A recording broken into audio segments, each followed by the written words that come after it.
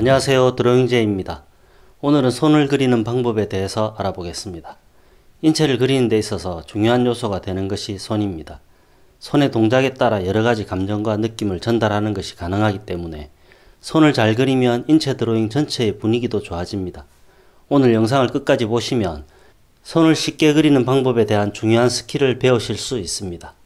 손바닥 쪽이 안쪽으로 휘어진 육면체 모양을 그립니다. 옆쪽의 엄지손가락 위치를 정해서 그립니다. 비슷한 크기로 손가락이 들어갈 위치를 잡습니다. 손가락은 끝으로 갈수록 가늘어지게 그립니다. 검지의 위치를 정해서 그립니다. 투명한 모양으로 그려서 구조를 이해하기 쉽게 하겠습니다.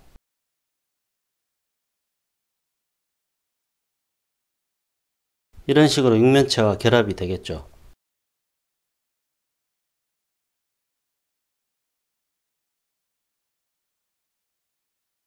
검지와 새끼손가락의 위치를 먼저 잡고 안쪽 중지와 약지를 그리면 손가락 형태와 위치를 잡기가 쉽습니다. 아씨 너무 딱 붙여서 장갑 같네.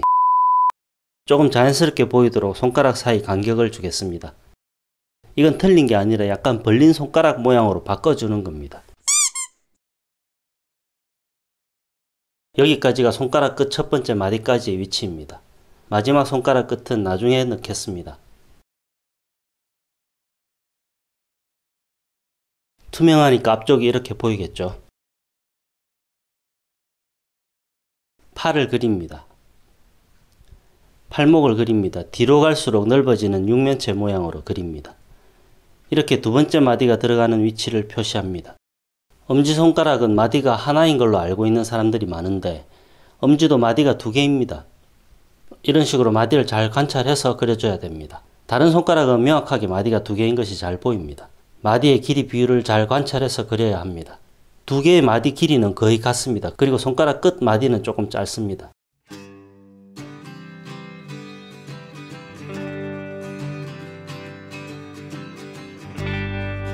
연하게 스케치한 걸 선명하게 정리해 보겠습니다.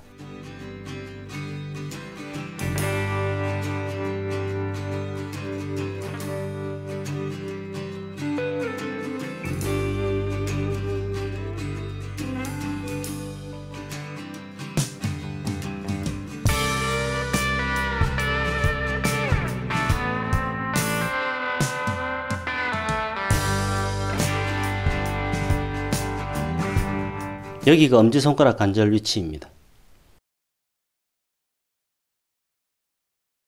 여기가 두 번째 관절이고 다음이 첫 번째 관절입니다. 크기는 같다고 생각하고 그리면 됩니다. 손가락 끝이 이런 식으로 들어갑니다. 마지막 마디는 한 마디의 반 정도 크기라고 생각하시면 됩니다. 사람이 일상생활 속에서 유일하게 노출되어 있는 것이 얼굴과 손입니다. 손은 그 사람의 특징을 이해하는데 얼굴만큼이나 많은 역할을 합니다. 그래서 사람의 손 동작을 눈여겨보게 되기도 하고 춤추는 사람도 왜 손끝의 동작을 중요하게 생각하지 않습니까? 물론 뭐 맨발로 기돌아 다닌다든지 덥다고 우통 벗고 돌아다니고 뭐 노출증 환자 같은 그런 사람들은 뭐 다른 부분도 노출이 되긴 하겠죠. 이렇게 입체 도형으로 단순화해서 손의 두께를 이해해야지 손의 양감을 표현하는 데 도움이 됩니다. 제 손과 비교해 보겠습니다. 사람 손가락은 힘을 많이 줘야지 직선이 됩니다. 손에 힘을 빼고 자연스럽게 이렇게 있으면 약간의 곡선을 그리게 됩니다. 실제로 이제 손을 그릴 때는 그런 점을 이해하고 그린다면 손을 더 자연스럽게 그릴 수 있겠죠. 안쪽 연결 부위도 그립니다. 같은 포즈의 손을 본격적으로 한번 그려보겠습니다. 손이 들어갈 위치를 표시하고 큰 형태를 그립니다. 처음은 벙어리 장갑을 낀 모양을 그린다고 생각하고 스케치를 합니다. 보통 손등과 손가락의 길이는 1대 1.2 정도 되면 긴 손가락에 보기 좋은 손을 그릴 수 있습니다. 그렇지만 사람마다 비율이 조금씩 다르니까 관찰을 많이 해서 적절히 조절해 줘야 됩니다.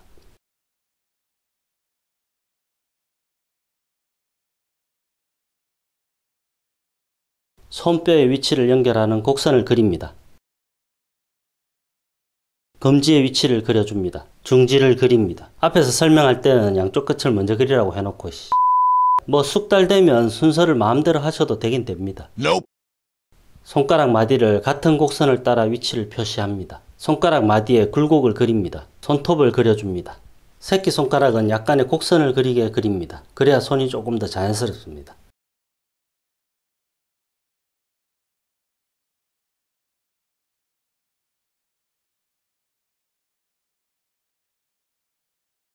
손마디에 주름을 그립니다.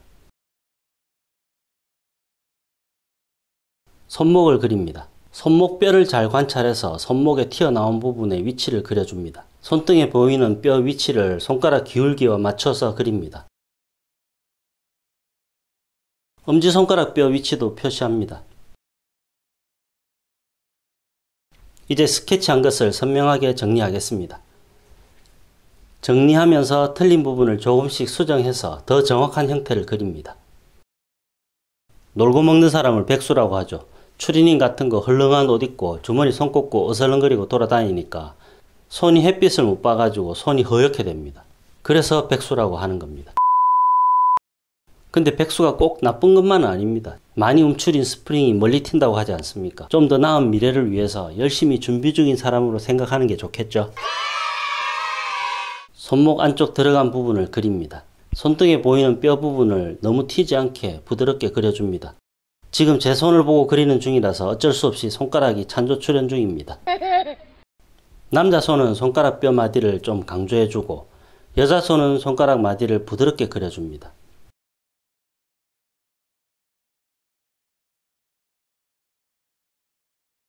손가락 마디 주름을 그립니다. 손등뼈부터 시작해서 관절들을 같은 둥글기에 맞춰서 이런 식으로 연결이 되게 그립니다. 손의 어두운 흐름을 찾아서 연하게 톤을 올리겠습니다. 좀 예쁜 손을 그리려고 했는데 제 손을 보면서 그리다 보니까 예쁘게 잘 안 나옵니다. 한때는 손이 예쁘단 소리 들은 적도 있는데 한 30년 전에 나이 먹고 배도 나오고 살도 찌다 보니까 예쁜 손은 온데간데 없고 아씨 짜증나게 손에도 살이 찝니다.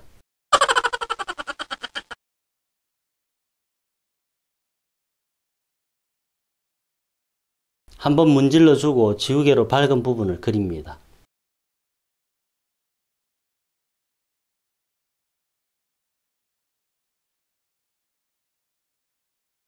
손바닥이 보이는 손도 한번 그려보겠습니다. 손가락 모양은 신경 쓰지 말고 들어갈 위치를 정하고 전체적으로 두리뭉실하게 형태를 하나로 묶어서 그립니다.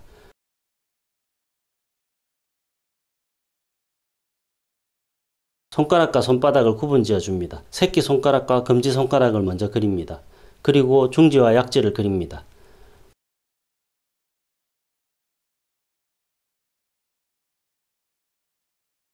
엄지손가락 쪽 근육 모양을 그립니다. 손가락 마디 굴곡도 그려줍니다. 손톱 모양을 잘 관찰해서 어색하지 않게 신경 써서 그립니다.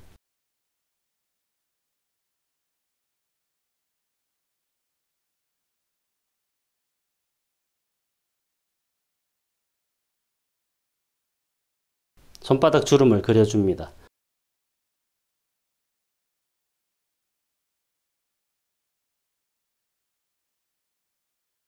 선명하게 외곽선을 그리겠습니다.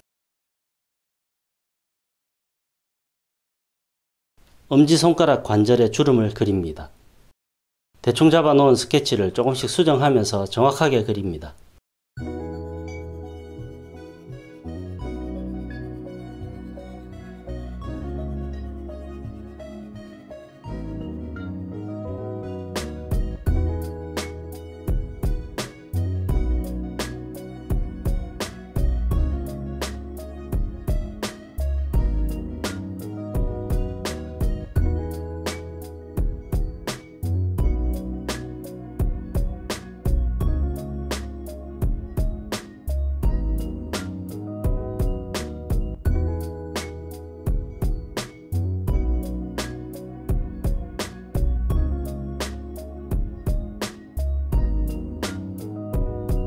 어두운 흐름을 대충 잡아주고 한번 깔아줍니다.